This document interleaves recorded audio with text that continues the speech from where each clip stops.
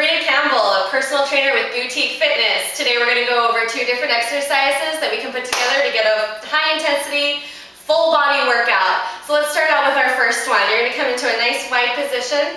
We're going to tuck down, we're going to come into a nice squat position. So you're sitting that bum back, your chest is still up, shoulder blades are together, get as low as you can. If you touch the ground, that's awesome. But if you round those shoulders to touch the ground, pull yourself up a little bit. And then you're going to jump those feet together using those thighs. Right back down, up, down, up. We get the picture? Yeah, super easy, awesome. All right, second exercise. You're gonna come into a plank position.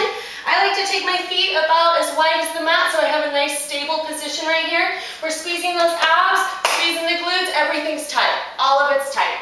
You're gonna come down on one elbow, down on the other elbow, and then press back up and just tap to the other side. Come back down switch. So that's one, two. Try not to rock those hips around too much. We don't want to have them moving as much as we let them. All right. So you got those two exercises. Basically what you're gonna do with those two to make it nice and high intensity, you're gonna start on a nine count with thigh masters. Then you're gonna go nine reps for those suicide press ups. And you're gonna count down each exercise all the way to one rep. We got that? It's going to be awesome. See you next time.